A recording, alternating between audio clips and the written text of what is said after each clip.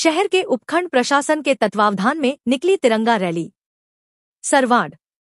आज़ादी के अमृत महोत्सव के तहत शहर में शनिवार की सुबह उपखंड प्रशासन के तत्वावधान में तिरंगा रैली निकाली गई, वही सरवाड़ तहसीलदार रणछोड़लाल द्वारा हरी झंडी दिखाकर तिरंगा रैली को रवाना किया।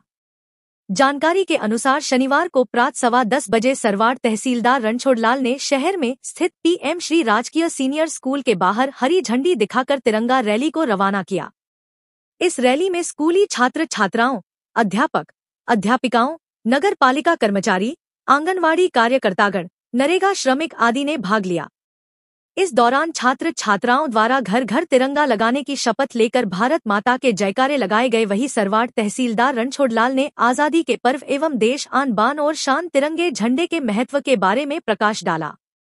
यह तिरंगा रैली शहर के गांधी चौक पहुंचकर संपन्न हुई। इस दौरान मुख्य ब्लॉक शिक्षा अधिकारी रामेश्वर प्रसाद झारोटिया, राजकीय पुसी बाई विद्यालय के प्रधानाचार्य परमेश्वर मिश्र, पालिका के कनिष्ठ सहायक भागचंद खींची, रहीस गोरी, अर्जुन सिंह आदि मौजूद थे।